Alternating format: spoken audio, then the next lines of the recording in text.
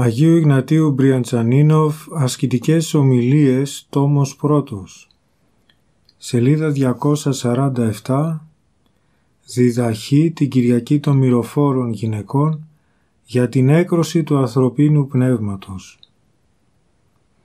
Το Ευαγγέλιο μας μίλησε σήμερα για τον άθλο των Αγίων Γυναικών που ακολουθούσαν τον Κύριο στα χρόνια της επίγειας παρουσίας Του και που είχαν παραβρεθεί στα παθήματά Του, στην Σταύρωση και στην ταφή Του. Η ταφή είχε γίνει το βράδυ της Παρασκευής.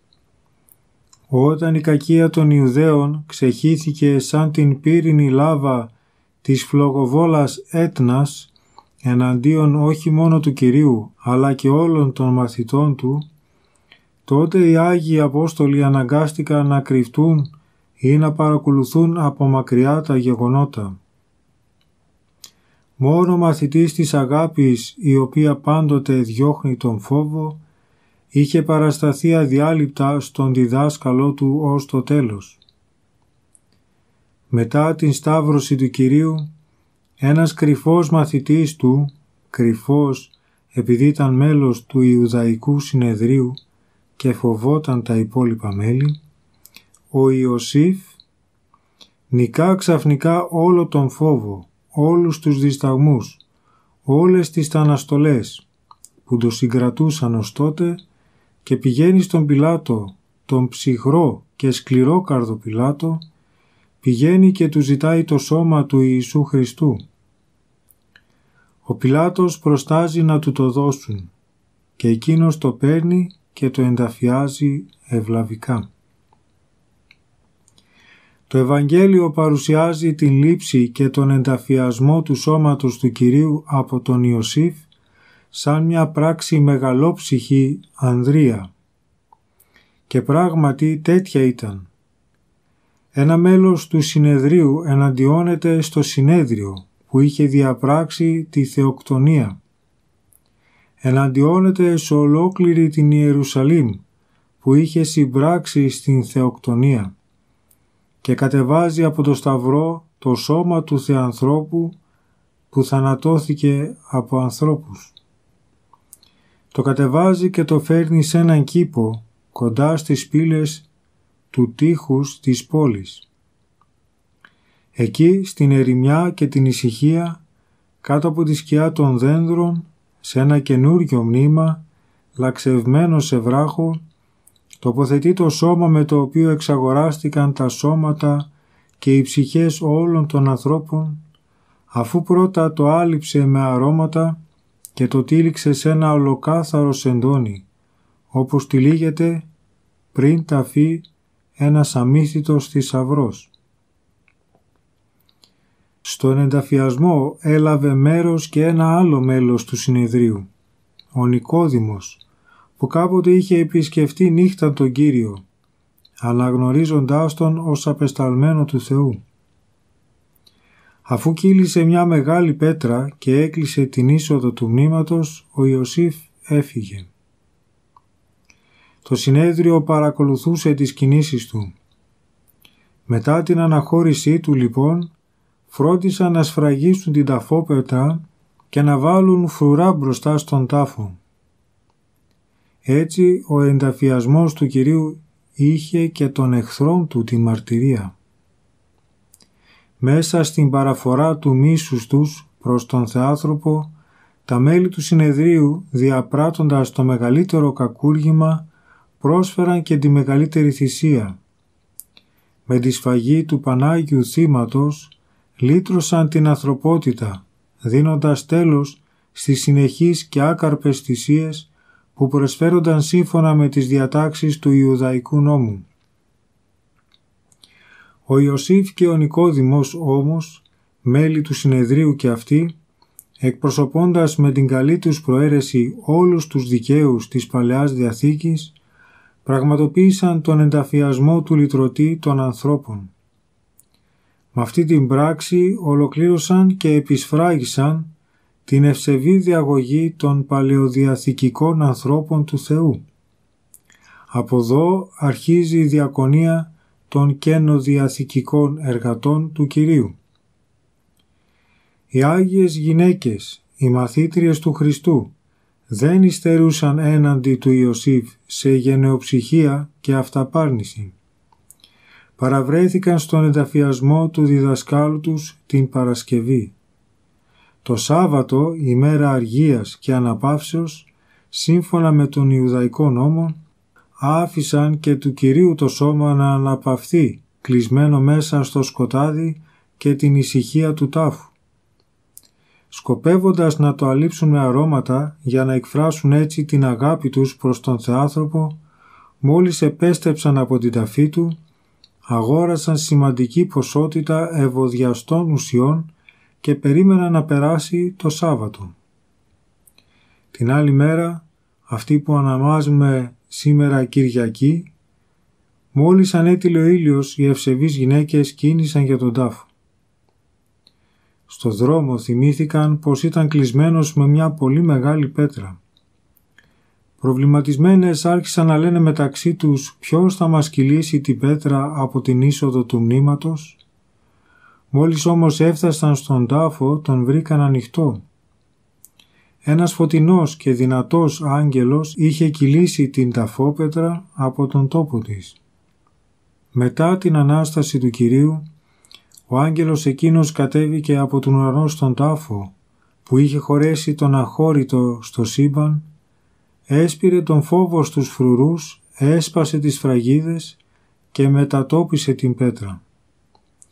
Ύστερα κάθισε πάνω της, περιμένοντας τις γυναίκες. Όταν αυτές ήρθαν, τους γνωστοποίησε την Ανάσταση του Κυρίου, προστάζοντάς τες να ενημερώσουν και τους Αποστόλους. Για την αγάπη και την αφοσίωσή τους στον Θεάνθρωπο, για την προθυμία και την αποφασιστικότητά τους να τιμήσουν το Πανάγιο Σώμα Του, που αδιάλειπτα το φρουρούσαν οι στρατιώτες και που στενά το επιτηρούσε ο φθόνος του Ιουδαϊκού Συνεδρίου, οι Άγιες γυναίκες πήραν πριν από κάθε άλλον άνθρωπο την ακριβή και αξιόπιστη είδηση της Αναστάσεως του Κυρίου για να γίνουν στη συνέχεια οι πρώτοι και φλογεροί κήρυκές της, καθώς την πληροφορήθηκαν από στόμα αγγέλου. Στον υπερτέλειο Θεό δεν υπάρχει μεροληψία. Μπροστά Του όλοι οι άνθρωποι είναι ίσοι. Όποιος αφοσιώνεται σε εκείνον με αυταπάρνηση, αξιώνεται να λάβει πλούσια την χάρη Του και τις ξεχωριστές δωρεές Του. Ποιος θα μας κυλήσει την πέτρα από την είσοδο του μνήματος. Τα λόγια τούτα των Αγίων Γυναικών έχουν ένα μυστικό νόημα.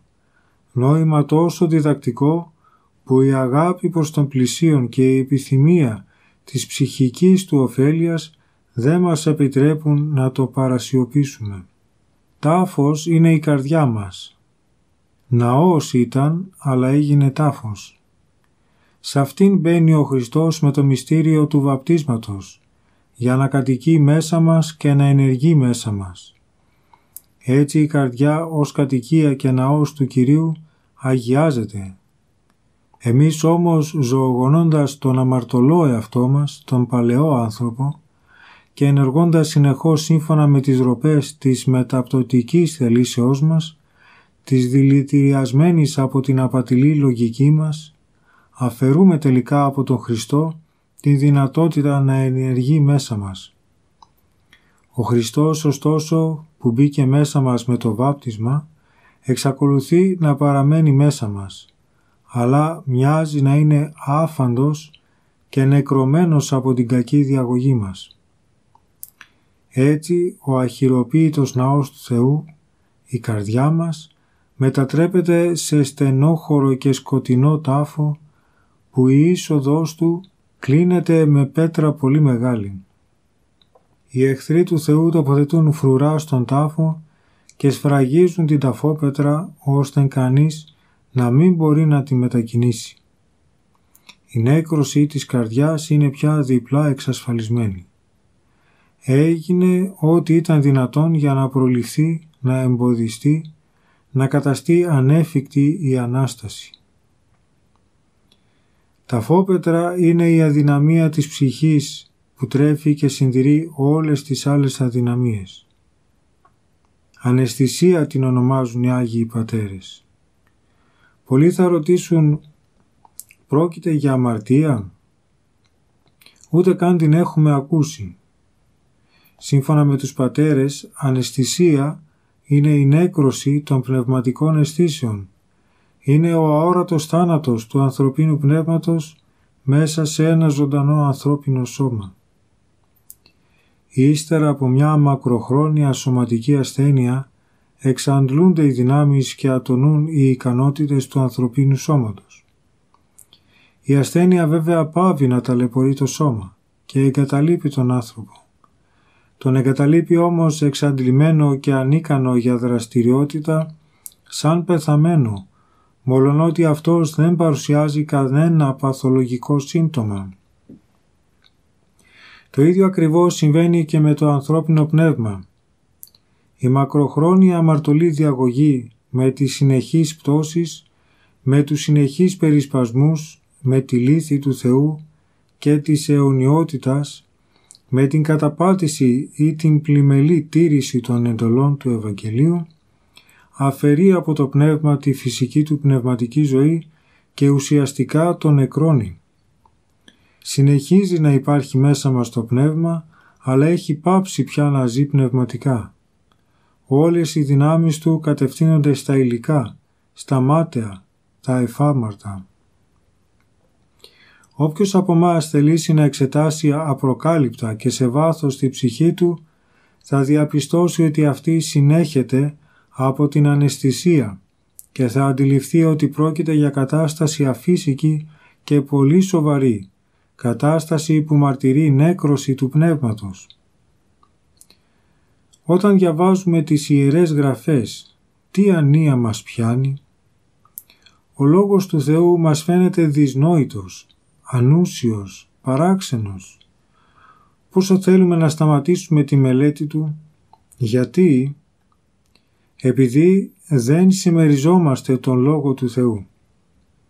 Όταν πάλι στεκόμαστε σε προσευχή, τι ξηρότητα και τι ψυχρότητα αισθανόμαστε; Πόσο βιαζόμαστε να τελειώσουμε αυτή τη ρηχή και απρόσεκτη προσευχή μας. Γιατί; Επειδή είμαστε ουσιαστικά ξένοι προς τον Θεό, μη νιώθοντας την παρουσία Του, επειδή η πίστη μας είναι νεκρή. Έχουμε λησμονήσει την αιωνιότητα, λες και δεν συγκαταλεγόμαστε όπως όλοι οι άνθρωποι στον αριθμό εκείνων που οφείλουν να μπουν στην απέραντη αγκαλιά της, λες και δεν θα αντιμετωπίσουμε όπως όλοι οι άνθρωποι τον θάνατο πρόσωπο με πρόσωπο. Γιατί; Επειδή έχουμε προσκοληθεί ολόψυχα στα υλικά αγαθά. Γι' αυτό ποτέ δεν σκεφτόμαστε και δεν θέλουμε να σκεφτούμε την αιωνιότητα. Γι' αυτό χάσαμε την ευεργετική αίσθησή της, αποκτώντας την ψευδέστηση πως η επίκαια ζωή είναι ατέλειωτη.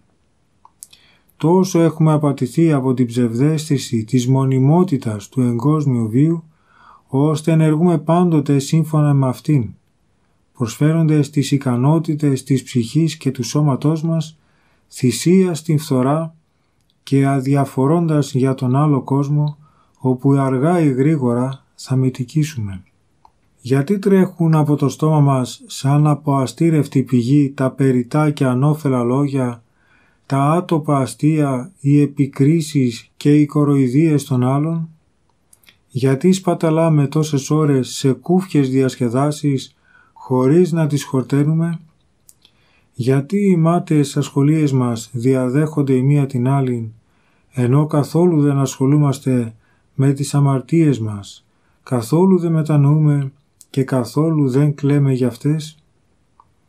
Επειδή έχουμε αγαπήσει την αμαρτία, κάθε τι που μας οδηγεί στην αμαρτία και κάθε τι που μας κρατά στην αμαρτία, ενώ απέναντίας έχουμε αποξενωθεί εκούσια από την αρετή, από κάθε τι που μας οδηγεί στην αρετή και από κάθε τι που μας κρατά στην αρετή. Η αναισθησία, μια ειρήνη εχθρική προς τον Θεό, φυτεύεται στην ψυχή μας από τους εχθρούς του Θεού τους δαίμονες με τη συνέργεια της δική μας προαιρέσεως. Στη συνέχεια αναπτύσσεται και ισχυροποιείται αν ζούμε κοσμικά, αν ακολουθούμε τη λογική και το θέλημα της πεσμένης φύσεώς μας, αν δεν τηρούμε με ακρίβεια τις εντολές του Θεού. Όταν η αναισθησία εδρεωθεί στην ψυχή, τόσο που να γίνει σαν φυσική ιδιότητά της, τότε ο αμαρτωλός κόσμος και οι κοσμοκράτορες δαίμονες σφραγίζουν την ταφόπετα. Αυτό το σφράγισμα είναι η κοινωνία του ανθρωπίνου πνεύματος με τα πονηρά πνεύματα. Είναι η αποδοχή από το ανθρώπινο πνεύμα των υποβολών που του δημιουργούν τα πονηρά πνεύματα. Είναι η υποταγή στην τυραννική εξουσία των πονηρών πνευμάτων. Ποιος θα κυλήσει την πέτρα από την είσοδο του μνήματος; Ερώτημα γεμάτιο έγνοια, γεμάτο θλίψη, γεμάτο απορία. Νιώθουν αυτή την έγνοια, αυτή την θλίψη και αυτή την απορία οι ψυχές εκείνες που κατευθύνονται προς τον Κύριο έχοντας αφήσει πίσω τους τον κόσμο και την αμαρτία. Γνωρίζουν πόσο φοβερή είναι η αναισθησία. Επιθυμούν να προσέχονται με κατάνοιξη, να μελετούν το Λόγο του Θεού με ζήλο και να συναισθάνονται με πόνο την αμαρτωλότητά τους. Επιθυμούν κοντολογής να ανήκουν στην οικογένεια του Θεού. Αλλά συναντούν μια απροσδόκητη αντίσταση από τον ίδιο τους τον εαυτό. Αντίσταση άγνωστη στους δούλους της αμαρτίας. Την αναισθησία της καρδιάς. Η καρδιά έχοντας προσβληθεί από την προηγούμενη αμελή και ράθμη ζωή σαν από θανάσιμη ασθένεια δεν παρουσιάζει κανένα σημάδι ζωής. Ο νους μάταια συγκεντρώνει σκέψεις για τον θάνατο και για την κρίση του Θεού, για τα βάσανα του Άδη, για την εφροσύνη του Παραδείσου και μάταια προσπαθεί να κεντρήσει έτσι την καρδιά. Αυτή παραμένει αδιάφορη, σαν να μην έχουν καμιά σχέση μαζί της η κατάσταση της πτώσεως, ο θάνατος, η κρίση, ο Άδης, ο Παράδεισος. Αυτή έχει πέσει σε ύπνο βαθύ, ύπνο θανάσιμο. Κοιμάται ναρκωμένη από το δηλητήριο της αμαρτίας. Ποιος θα μας κυλήσει λοιπόν την πέτρα από την είσοδο του μνήματος; Είναι πάρα πολύ μεγάλη. Σύμφωνα με τη διδασκαλία των Αγίων Πατέρων για την εξάλληψη της αναισθησίας χρειάζεται από την πλευρά του ανθρώπου διαρκής και υπομονετικός αγώνας. Χρειάζεται σταθερή ευσεβής ζωή. Με τέτοια ζωή πολεμείται η αναισθησία. Αλλά για να θανατωθεί ο θάνατος αυτός του ανθρωπίνου πνεύματος δεν επαρκούν οι ανθρώπινες δυνάμεις. Απαιτείται και η ενέργεια της Θείας Χάριτος. Άγιος Άγγελος με εντολή του Θεού κατεβαίνει για να βοηθήσει την ψυχή που αγωνίζεται με κόπο. Κυλά την πέτρα της σκληρότητας από την καρδιά γεμίζοντας την κατάνοιξη και ευαγγελίζεται στην ψυχή την Ανάστασή της. Η κατάνοιξη είναι το πρώτο σημάδι της αναζωογονήσεως της καρδιάς, η οποία αρχίζει πια να αισθάνεται το Θεό και να ατενίζει την αιωνιότητα. Τι είναι όμως η κατάνοιξη; Είναι το αίσθημα της συμπόνιας για τον ίδιο τον αμαρτωλό εαυτό μας, για την άθλια κατάστασή μας, την κατάσταση της πτώσεως και του αιωνίου θανάτου. Είναι το αίσθημα που κυρίεψε τις καρδιές των κατοίκων της Ιερουσαλήμ όταν άκουσαν το πρώτο κήρυγμα του Αποστόλου Πέτρου ένιωσαν κατάνοιξη στις καρδιές τους, λέει η Γραφή, και αμέσως δέχτηκαν το χριστιανισμό. Το σώμα του Κυρίου δεν είχε ανάγκη τα αρώματα των γυναικών. Το άλυμα με αυτά το πρόλαβε η Ανάσταση. Αλλά οι Άγιες εκείνες γυναίκες, αγοράζοντας μοίρα, αμέσως μετά την επιστροφή τους από την ταφή, πηγαίνοντας στον ζωηφόρο τάφο με τις πρώτες κιόλας ακτίνες του ήλιου και κατανικώντας το φόβο που προκαλούσαν τόσο το φθονερό συνέδριο όσο και οι οπλισμένοι φρουροί του τάφου, απέδειξαν έμπρακτα τα αισθήματα που έκλειναν στην καρδιά τους για τον Κύριο. Τα μοίρα τους ήταν περιτά. Ανταμείφθηκαν εκατονταπλασίωνα με την εμφάνιση του αγγέλου εμπειρία πρωτόγνωρη και συγκλονιστική για αυτές, με την είδηση της Αναστάσεως του Θεανθρώπου, είδηση πέρα για πέρα αξιόπιστη και με την συνακόλουθη επίγνωση της Αναστάσεως της ανθρωπίνης φύσεως. Ο Θεός δεν έχει ανάγκη την αφιέρωση της ζωής μας, την αφιέρωση των δυνάμεων και των ικανοτήτων μας σε Αυτόν. Εμείς την έχουμε ανάγκη. Ας την προσφέρουμε λοιπόν σαν ευωδιαστό μύρο στον τάφο του Κυρίου. Ας αγοράσουμε χωρίς καθυστέρηση το μύρο, την καλή προαίρεση. Ας αρνούμαστε από τα νεανικά μας χρόνια κάθε θυσία στην αμαρτία. Αυτό είναι το τίμημα του μύρου, της καλής προαιρέσεως. Η δουλεία στην αμαρτία δεν είναι δυνατόν να συζευχθεί με την διακονία του Θεού. Η πρώτη εξουδετερώνει και αχρηστεύει τη δεύτερη. Ας μην επιτρέπουμε λοιπόν στην αμαρτία να νεκρώνει στο πνεύμα μας το ενδιαφέρον για το Θεό και για κάθε τι το Θείο. Ας μην επιτρέπουμε στην αμαρτία να μας φραγίζει με τα δικά της χαρακτηριστικά, να αποκτά τυραννική εξουσία επάνω μας. Όποιος παραμένει με σταθερότητα κοντά στο Θεό, από τα αθώα νεανικά του χρόνια, βρίσκεται αδιάκοπα κάτω από την επενέργεια του Αγίου Πνεύματος και σφραγίζεται με χαρακτηριστικά που απορρέουν από αυτό. Ένας τέτοιος άνθρωπος αποκτά με τον καιρό ζωντανή, βιωματική, εμπειρική γνώση της Αναστάσεως του Χριστού και της ανθρωπίνης φύσεως, αναγεννάται πνευματικά από τον Κύριο και γίνεται, σύμφωνα με την εντολή του, κήρυκα στις Αναστάσεως στους αδελφούς του. Όποιος από άγνοια ή αδυναμία υποδουλώθηκε στην αμαρτία, ήρθε σε κοινωνία με τα πονηρά πνεύματα και έχασε τον πνευματικό του σύνδεσμο με τον Θεό, τους αγγέλους και τους Αγίους, αυτός ας θεραπεύσει τον εαυτό του με την μετάνοια. Ας μην αναβάλουμε από μέρα σε μέρα την θεραπεία μας, γιατί αν μας αρπάξει ο θάνατος ξαφνικά, πριν μετανοήσουμε, δεν θα οδηγηθούμε στον τόπο της ατελεύτητης αναπαύσεως και εφροσύνης, αλλά θα ρηχθούμε σαν τα άχρηστα ζυζάνια στην άσβεστη φωτιά του Άδη. Η θεραπεία των αδυναμιών όταν αυτές έχουν χρονίσει δεν είναι τόσο εύκολη και τόσο γρήγορη όσο φαντάζονται οι άπειροι και οι ανίδεοι από πνευματικό αγώνα. Γι' αυτό ακριβώς η εσπλαχνία του Θεού μας δίνει καιρό για μετάνοια.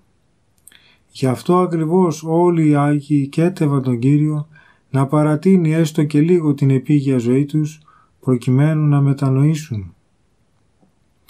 Χρειάζεται χρόνος για την εξάλληψη των σφραγίδων, των στιγμάτων, της αμαρτίας. Χρειάζεται χρόνος για να σφραγιστούμε ανεξάλληπτα από τα ευλογημένα χαρακτηριστικά που δημιουργούνται με την επενέργεια του Αγίου Πνεύματος. Χρειάζεται χρόνος για την κάθαρσή μας από τους ψυχικούς ρήπους. Χρειάζεται χρόνος για την ένδυσή μας με τον χιτώνα των αρετών και για το στολισμό μας με τις θεάρεστες ιδιότητες των κατοίκων του ουρανού. Ο Χριστός θα αναστηθεί στον άνθρωπο που έχει ετοιμαστεί κατάλληλα και τότε ο τάφος, η καρδιά του ανθρώπου θα γίνει ναός του Θεού. Ανάστα Κύριε σώσον με ο Θεός μου. Σε αυτή τη μυστική και συνάμα πραγματική Ανάσταση έγκυται η σωτηρία μας. Αμήν. Τέλος του κειμένου διδαχεί την Κυριακή των μυροφόρων γυναικών για την έκρωση του ανθρωπίνου πνεύματος.